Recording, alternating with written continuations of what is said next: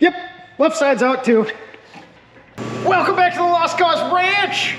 As you can see, chassis in a little different location. You know what that means. We're getting this guy on the ground today. That is our LS3 Defender 90 complete new galvanized chassis, all new suspension, pretty much knew everything. So let's get the rest of the stuff assembled and get this guy on the ground today. We need to finish up those axles from the last video because it's hard to be a rolling chassis without those. Look at Lotus, almost back together.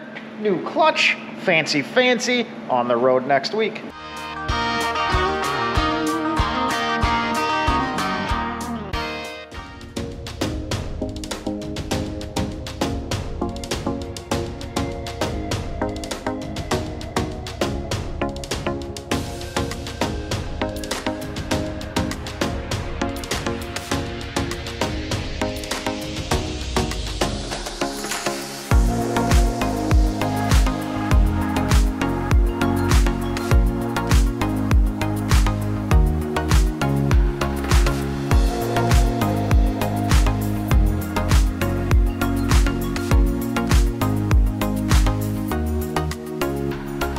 We got the axle back under here. We're gonna start getting the suspension bolted on. First, we need to get the shock mounts off the other Defender. So Ted's got the right side one off here. I'll get this guy all cleaned up and refinished, and then we can bolt it on. Let's check how the left side is. Yep, left side's out too. I, I don't, you know, I don't know why it needed a chassis. Could have patched that together. So we have our rear arms all coated looking fresh. Matches the front ones. New radius arm bushings and the upper a arm bushings we're gonna get those pushed in. New upper ball joint. New hardware for all of it. Those guys assembled. Then we can locate the rear axle finally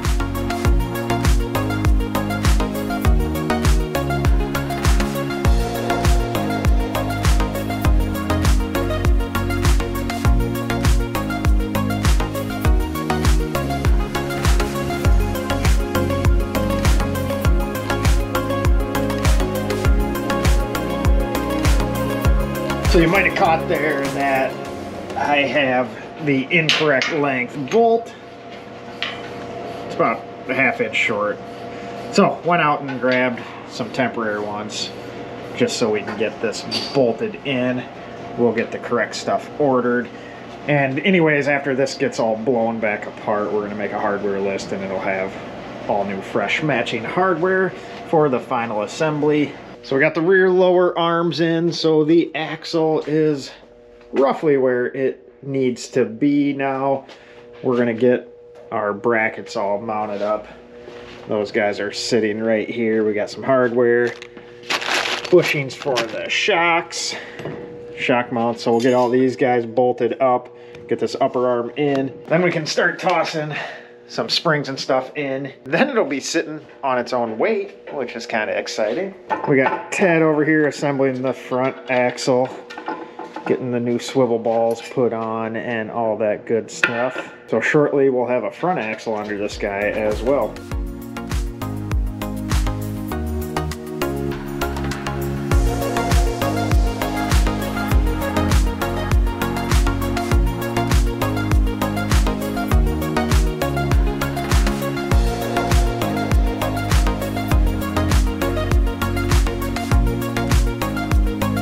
How nice that guy looks all put together. Got our fancy new axle shafts in there and everything, some new brake discs. That guy is just about ready to slide right under there. But first, we are going to get the rest of the rear in place. Then we get to see how tall this guy is. It's gonna sit quite a bit higher than it is at the moment because as you see, the spring is much, much taller than the space right there. Just a tiny bit. Well, would you look at that?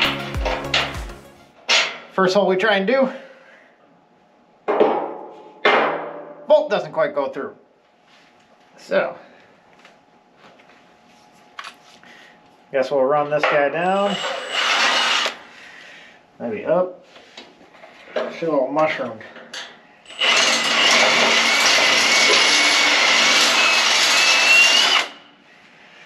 Let's try that. Much better. Let's try again.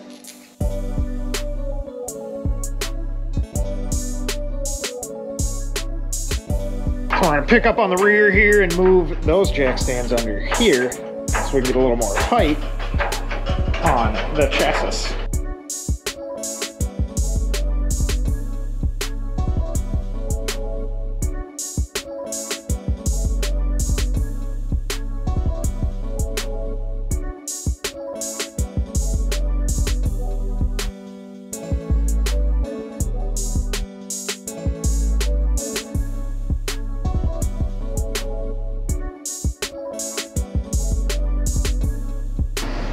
So when I was fighting on this one, as you can see the bolt just kind of slides in to a slotted piece.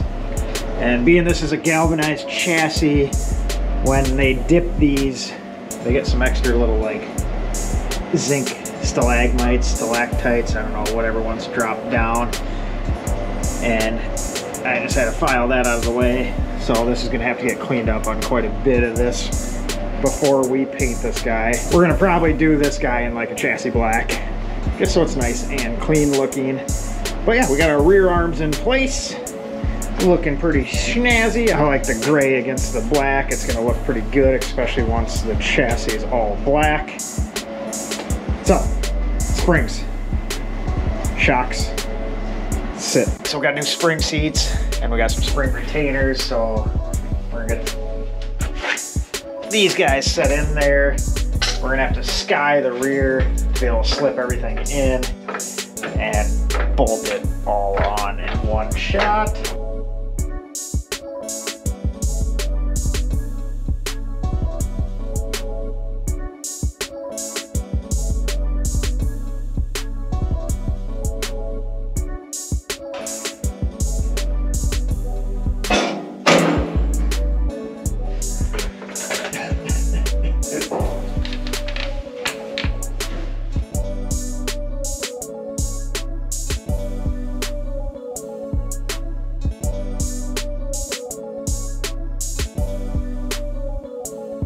So apparently with the Porta-Power, we did not spread these enough with the urethane bushings. They are still too fat to slide in. What we're gonna do here is we got this little contraption.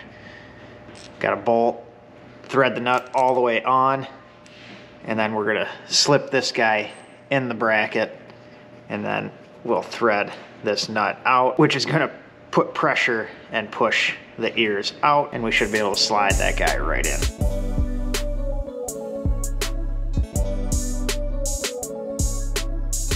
So there's your top tip of the day. Just a, a nut and a bolt. Do a little spready spready.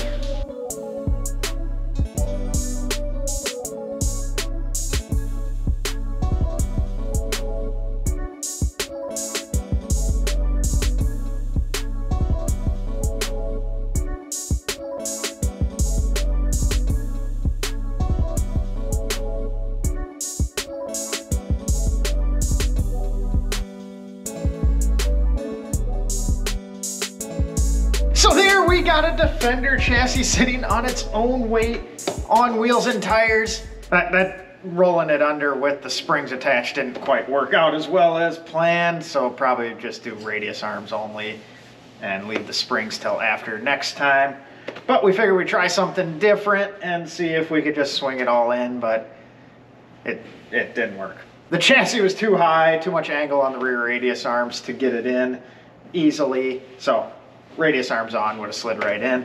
But figured we'd give her a shot. Don't know until you try. But uh, we're gonna get the shocks on this guy and then we'll wheel this guy out and we'll see what it looks like as a rolling chassis.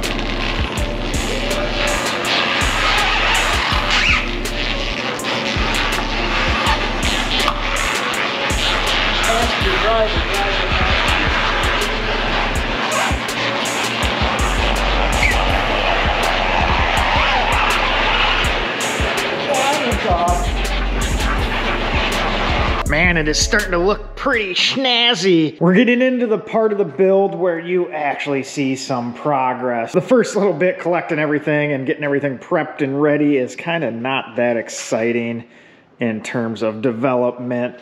But now we're getting to see what we may look like in the future. These are just some roller wheels off another Defender we had. What we're dealing with here is some factory brand new rear links, all new bushings, but we have a two inch Old Man Emu lift front and rear sitting in their new shock towers. The axles are all rebuilt with fresh new parts. So you can probably gather the theme on this thing. It is gonna be a very new, very fresh Defender build. There's not gonna be a whole lot used off that old rusty one. This one right here, it's kind of in sorry shape. We will use some of the good bits off it, but the majority is going to be new. And this is gonna be a pretty slick little guy, 430 horsepower with a bunch of factory fresh stuff. Look at a Raptor. Arr. We're probably gonna have about an inch taller tire than this on it. And we are undecided as to go with like a narrow, tall, skinny, or if we're gonna go with a little wider wheel and tire. That will be determined in the future. We have to line up our steering bits here. That one was a right-hand drive one.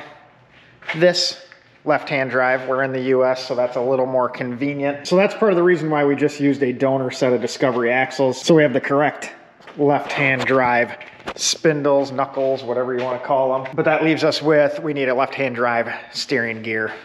So we'll have to get that. Then, then it'll turn, not just roll. Big monumental moment there. Now we're left with a gaping hole. Let's get that bit ready to go in. We got the LS3 that needs to get in there. We're gonna uncrate it, get this right there, get the 6L80E out, slam those two together, and get it ready to go in there so we can make some mounts or something. I suppose it's probably not gonna just bolt in. They didn't come with those, huh?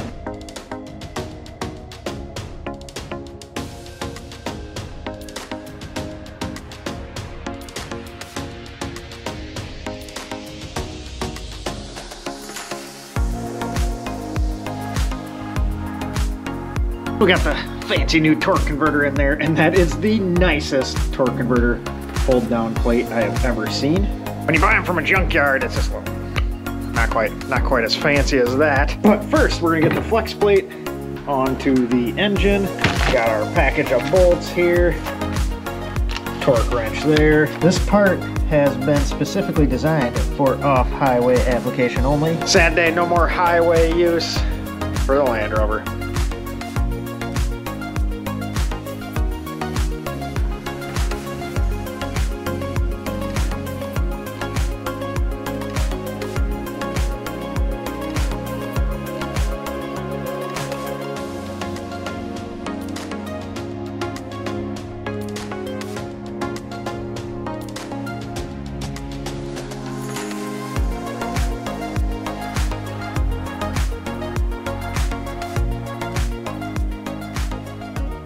There, we got the 6L80E bolted up to the LS3.